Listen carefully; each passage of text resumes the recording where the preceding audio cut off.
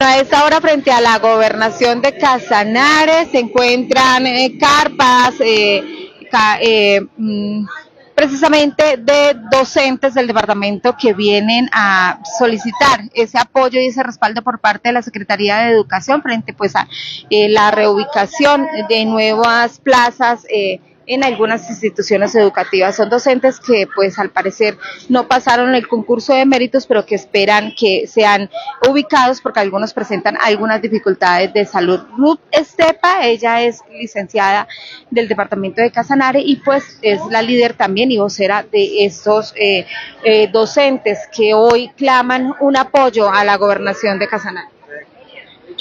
Eh, sí, bueno, yo soy la vocera a nivel regional y a nivel departamental eh, nacional de los docentes provisionales.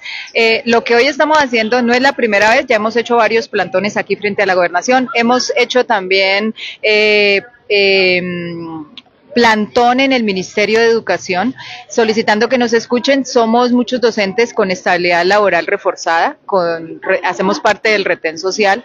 Eh, acá en estos momentos también hay docentes de la lista de elegibles que no han sido ubicados y pues todos los docentes provisionales que quedaron desempleados a causa de, los nombramientos por concurso, que a propósito pues es un concurso que, que se hace para todas las profesiones, eh, para es como lo llamamos el escampadero de todas las profesiones porque todos pueden concursar, eh, los ingenieros en todos los ámbitos pueden concursar, los abogados, eh, quienes no tienen la pedagogía entraron, mientras que muchos que llevan 20 años en el territorio, esa prueba eh, no se eliminó, los eliminó y muchos están con enfermedades como el cáncer, enfermedades catastróficas y ahorita perdieron el servicio de salud.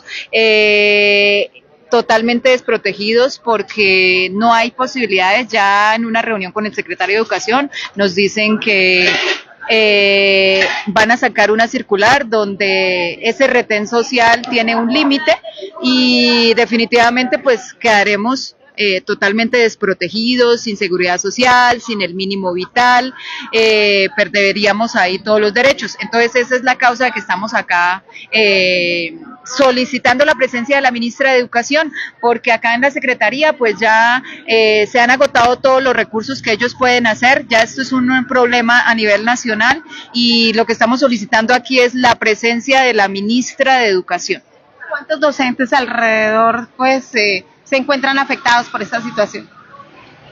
Eh, salieron más de 300 docentes, 94 con retén social y con estabilidad laboral reforzada y faltan aún mm, docentes incluirlos en esa lista. Pero entonces, acá nos dicen en la Secretaría de Educación que aún se va a hacer una mesa para incluir más docentes con estabilidad laboral reforzada, pero que no hay ninguna posibilidad de ampliación de planta docente, o sea, pasarán los dos años y no volveremos a ser vinculados. Vemos que vienen muy bien preparados ustedes, están dispuestos a quedarse en la casa que se les dé una solución definitiva porque vemos que vienen con campis, que vienen incluso con eh, ya lista la olla eh, para el desayuno, para el almuerzo, incluso todos acá ya están desayunando con un rico eh, caldo de costilla. Sí, ya estamos preparados definitivamente hasta cuando nos toque, hasta que el gobernador también nos gestione, eh, porque esto es una problemática social de Casanare y, y pues el eh, quien le compete pues también al gobernador pues eh, velar por nuestros derechos. Entonces, estamos también solicitando la presencia del gobernador, ya tuvimos una reunión, él nos quedó de hacer un enlace con el Ministerio de Educación, pero no ha sido posible, de dos meses esperando y no ha sido posible ese enlace. Entonces, estamos también esperando lo, a él para que definitivamente eh, se pronuncie entre el Ministerio de Educación, que nos escuchen y que haya una solución para eh, nuestros derechos fundamentales, como es el, el de la salud. Está, la, la, complicación más grave es el derecho a la salud, porque resulta que eh, nosotros en el CISBEN nos categorizaron sobre C14 y ya tenemos es que pagar seguridad y no tenemos empleo. Entonces estamos en una encrucijada muy grave. Ustedes fueron unos de los... Eh, que votaron más precisamente por Gustavo Petro, por buscar unas soluciones. Siempre el magisterio fue el que más lo respaldó y ahora pues verse precisamente en esta situación con el nuevo gobierno, con las directrices que se han dado y también pues en el departamento de Casanare. Sí, eh, esta problemática viene de los, hay que aclararlo, viene de los gobiernos anteriores.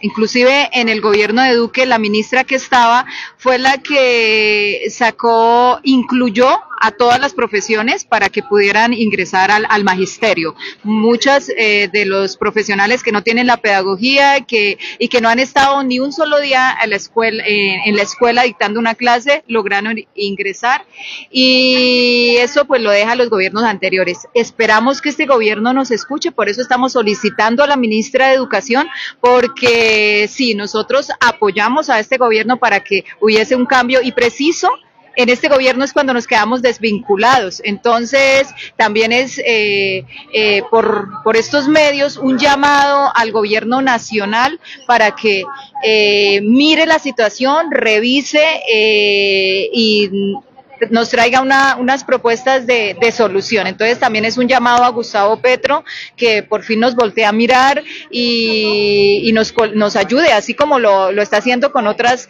con, con otras comunidades, pues nosotros también somos una comunidad El secretario de Educación siempre ha dicho que no hay espacio, no hay plazas para tantas personas y que pues precisamente eh, los requisitos que tenían que cumplir pues no se surtieron con el eh, proceso de eh, el concurso de méritos.